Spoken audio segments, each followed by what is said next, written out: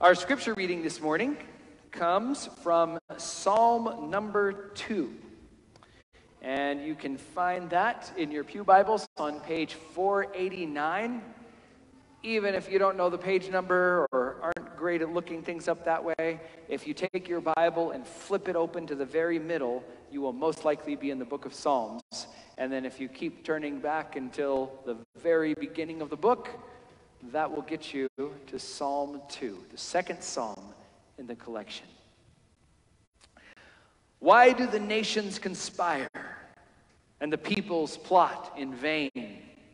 The kings of the earth set themselves, and the rulers take counsel together against the Lord and his anointed, saying, Let us burst their bonds asunder and cast their cords from us. He who sits in the heavens laughs. The Lord has them in derision. Then he will speak to them in his wrath and terrify them in his fury, saying, I have set my king on Zion, my holy hill. I will tell of the decree of the Lord. He said to me, You are my son. Today I have begotten you. Ask of me, and I will make the nations your heritage, and the ends of the earth your possession. You shall break them with a rod of iron and dash them in pieces like a potter's vessel. Now, therefore, O kings, be wise. Be warned, O rulers of the earth. Serve the Lord with fear, with trembling. Kiss his feet, or he will be angry and you will perish in the way, for his wrath is quickly kindled. Happy are all who take refuge in him. Let us pray. Lord, you have taught us in the scriptures that the grass withers and the flower fades, but your word endures forever. Now may the words of my mouth and the meditations of all of our hearts be acceptable in your sight our rock and our redeemer. Amen. The year is 871, and the great heathen army, hordes of Vikings from Norway, Denmark, and Sweden, have invaded England, bent on conquering the island and its loose alliance of Christian Anglo Saxon kings. The Vikings have largely succeeded in this effort as kingdom after kingdom falls under their advance, all except for one in the remote southwest corner of the island. The tiny kingdom of Wessex is the last to offer any resistance. Its aging king, Ethelwulf, left behind five strong sons, but one by one they fell and only the youngest, Prince Alfred, remains. Alfred, at age 22, is not a warrior, he's an intellectual, a deeply religious boy who suffered from illnesses throughout his childhood. And now, in 871, surrounded on all sides with Vikings, with no allies and no brothers left to come to his aid, and little hope or confidence from his own people, Alfred is crowned king. Of course, this is the Alfred who will go on to be known as Alfred the Great, the only English king to bear that title. He's the king who defeated all of the Vikings, united all of England under one crown, and sparked a renaissance in medieval English art, literature, government, and education. Along the way, Alfred personally translated the book of Psalms from Latin into his native tongue, and this is the very first translation of the Psalms into the English language. Alfred did this late in his life, after all his battles had been won. And I like to imagine him sitting in his study in his old age, reflecting back on his long reign and all that he has accomplished as he translates the words of Psalm 2, verse 6. And he writes, And each am their king ye set from God over his don Haljan Mount Sion. to them that each lara his willan and his a.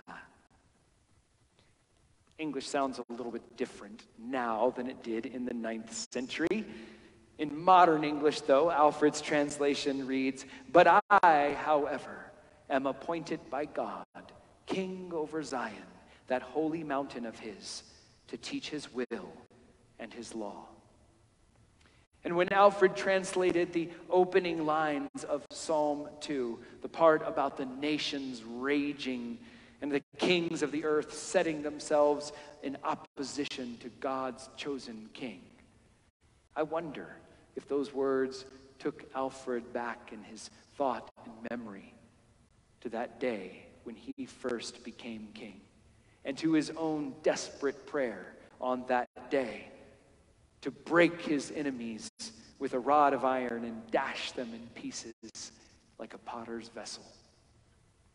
I wonder this because Psalm 2 is believed by many scholars to have been a coronation psalm of the ancient Jewish people, meant to be read or sung in the temple as part of an official coronation when a new king ascended to the throne of Israel.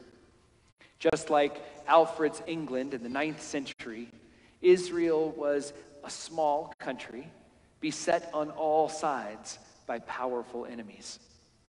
And so, the number one priority of a good king, whether in Alfred's time or in ancient Israel, was simply to protect the people from invasion. This psalm that we're looking at today, Psalm 2, is divided into four different parts with this perfect symmetry to it. And each one speaks in a different voice. If you were to just read the psalm straight through, it's a little confusing. What's this all about? But if you understand that it's a dramatic narrative where each group has their lines and it goes from group to group as part of the coronation ceremony, it starts to make a lot more sense. So the first part, verses 1 through 3, is the voice of the nations outside Israel. And they speak their part, threatening Israel, threatening Israel's God, and threatening Israel's new king. And then the second part is God's part. God speaks from the heaven, laughing at the challenge from the nations, and therefore inspiring the people, his people, with hope and confidence. When God speaks his part, the primary thing he's doing is introducing his chosen king, the new king whom he has placed in Zion, the holy hill. That's a poetic reference to Jerusalem. And then in the third part, having been introduced, now the king speaks, reminding the people of his special relationship with God and of God's promises to defend them and give them success against their enemies. Then finally, in the last part, verses 10 through 12, the people of Israel, now unified under their God and King, speak their reply to all those nations and their kings, warning them and threatening them and making the circle complete. I'm explaining all of this in order to make the point that the context in which a psalm is written and the purpose for which it is used is important.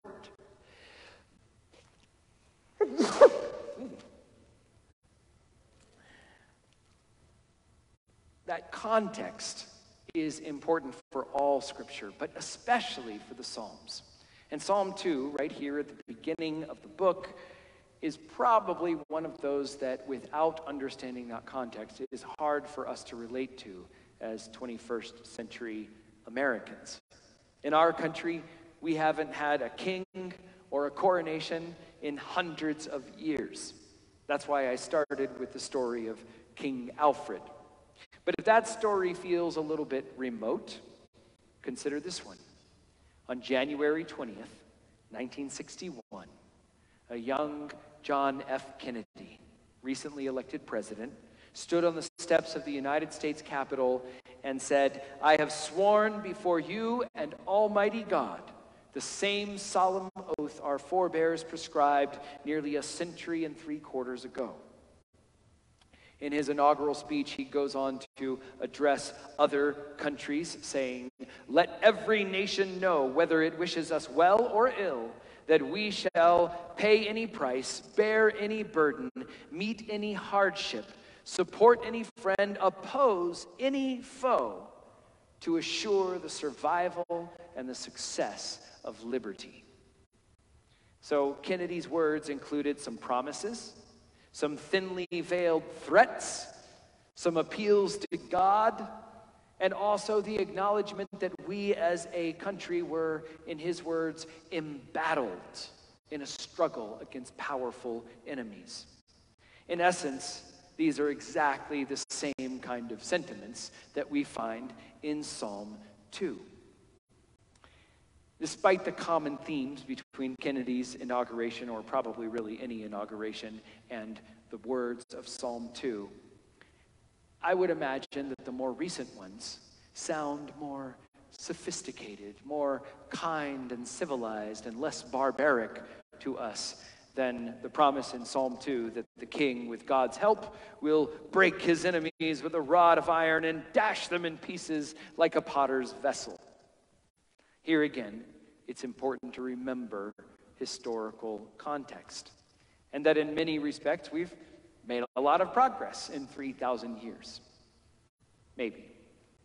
But there's something else I think is important to understand whenever we're reading the Psalms. And Psalm 2 is a good example of this. A lot of times we imagine the Bible as a collection of sacred writings handed down to us straight from God in the heavens in final, unchanged form, reflecting God's will and intent and perfection in every word. And so when Psalm 2 describes God as wrathful, angry and derisive.